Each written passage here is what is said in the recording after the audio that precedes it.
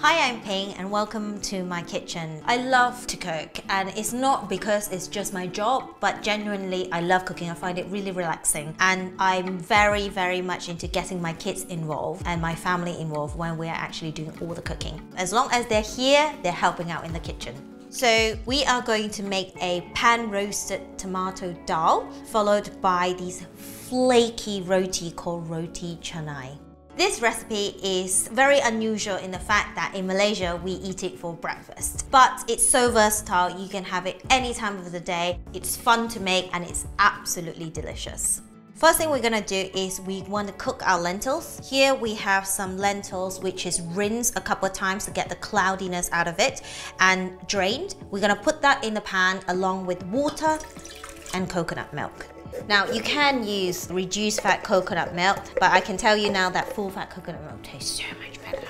Give it a stir, turn up your heat, medium high, and we're going to add salt, half a teaspoon of turmeric, and half a teaspoon of chili powder and give it a mix and we want to bring it to boil. This will take around 20 minutes and while we do that we can prepare our tomatoes. So here I've got a selection of tomatoes. Look how beautiful they are. They're different size, different colors. And all I'm gonna do is I'm going to halve them. Some with stalks, some without stalks. It's just so pretty. You know, food, yes, it's all about taste, but it's also all about looks as well. So I like leaving the stalks on. And then have my pan here, some vegetable oil in, the same amount of butter, Butter just gives the roasted tomato such a lovely flavor and the oil just helps the butter not to burn. So you want to drop this in. Try to actually drop them out on the cut side down. It's flat, it will sit in the pan better and then help it caramelize. Now I have a wok here, but you're very welcome to use a frying pan. And then while you're doing that, make sure that you stir your dal once in a while. Don't let it catch and then we want to add the onions in, some cumin seeds here, salt, and lastly, some fresh curry leaves. I love curry leaves and it's so great that Waitrose has fresh curry leaves because it's one of the ingredients is quite hard to find. So if you don't have it, you can either omit it or you can actually use dry. If you do find yourself have a pack of curry leaves and you can't finish it, they are perfectly fine to freeze. And don't forget, if you want the recipe, the link is below. Look at these colors. The oil and butter has taken some of the spices. The smell is incredible and that is done. I like my onions still have got some bite to it, so when we mix it into the dal, you've got like different texture going on. And the dal has had its time, if you can see, the lentils has broken down and become creamier. And what I'm going to do is pour the pan roasted tomato mixture into the dal. You can obviously serve this separately, but I like the whole thing incorporate in there and the oil and butter and spices and curry leaves will just enrich the dal further. At this point you can turn it off and you can heat it up whenever you want it. Dal is quite nice, eaten not so hot. Meantime, we're gonna prepare our roti. Roti canai. What can I tell you about roti canai other than it is super delicious and it's super simple to make. It uses very few ingredients, in fact pantry ingredients and you can create this flaky lovely bread that we eat in Malaysia for breakfast. So first we need about 85 ml of water. I'm a type of cook where I kind of guesstimate but with this roti, you need to make sure that everything is measured out correctly. So the next thing to add is condensed milk. We need about 50 ml of this. It gives sweetness and also certain richness to the bread. Mm. Then we add one egg and about 3 quarter of a teaspoon of salt, a tablespoon of oil in there as well. And then make sure everything is incorporated. And then we want to weigh out our flour. I'm using bread flour here, but you can use plain flour as well. And then make a well in the middle and you slowly drip the wet ingredients in there. And you can see that the dough is starting to come together. It might seem a little bit sticky at first, but it will soon come together as a dough. You don't want it too wet and you don't want it too dry either.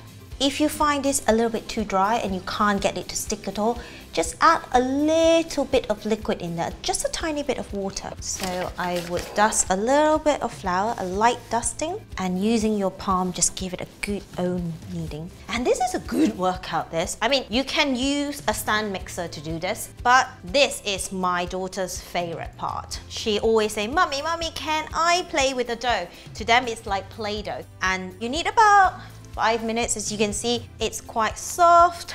The gluten start to form. It gives you a lovely chewy bread. And when I press it, the dough kind of spring back up and that's ready. So at this stage, we want to rest it for about 20 minutes.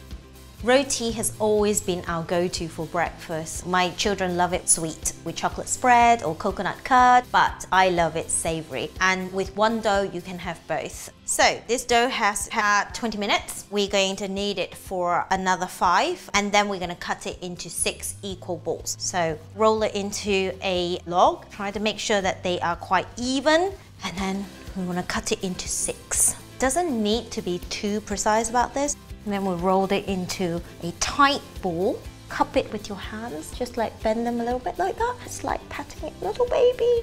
And you kind of like use your hands to form the ball. And then when you really skill, you can then do like that, which I can't do obviously. but you can use two hands and you can do two balls at one time. When they're ready, get a container with lid on it because you want to actually secure it. You don't want anything to spill. So with the oil, put a little bit on your hand. Pick up your bowl and just give it a little oil rub. Some people use margarine or butter. You can use that if you like. So once you've done that, you then cover the dough balls in oil. Don't worry, you can reuse this oil. Just make sure they are fully submerged and not sticking. It's a little bit like croissant, isn't it? Croissant, you fold it and laminate inside. Whereas with this roti, you cover it in oil and it helps the dough develop into this crispy, flaky layer. And then what we do is to wash our hands and then put the cover on there, secure them and put them in the fridge overnight. To cook the roti, I normally heat the pan before I do anything. Low to medium heat, let the pan come to temperature. Now, this dough has rested overnight. And what you want to do is use your hands and dip them in the oil and then lift a dough out. See how soft they are? And then use your oily palm here, press down, and then you stretch the dough. The oil allows you to stretch it easily. And the idea is you want to stretch it as thinly as you can. And there's a flipping method, which I'm going to show you. You want this hand the opposite of that one, so you kind of pinch it like that, and then you kind of flip the dough. And then as you flip and move around the dough, you can see how thin the dough is. And that's what we want. Doesn't matter if you have a hole in it. What we want is to stretch it out as thinly as possible. And then kind of fold the edges in like that. And you kind of lift it up and fold in the middle like that. Trap as much air as possible and then sprinkle the oil on here. You don't want too high a heat, you want it to come up to heat gently. As you can see the bubbles there, that's gonna be your flakiness. So I'm so excited about it, look at that.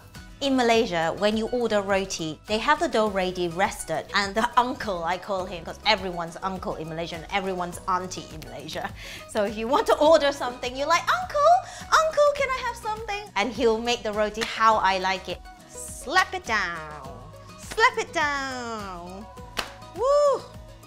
Now, this roti is nice and crispy. And we're going to put this into that. Now, let it rest for a bit. And when you are confident that you can handle the heat, what you want to do is clap it. That's what create the flaky roti canai. Rotis are best made fresh like this, but if you have leftover rotis, you can just warm them up in the oven quickly or just put it in the microwave for a very shortest amount of time just to warm them through. So now we can plate up. So we want a little bit of this beautiful dal in here and then we're just going to put this roti so there you have it, coconut dal with pan roasted tomatoes and roti canai. Do have a go because it is so worth it and it's so tasty to eat.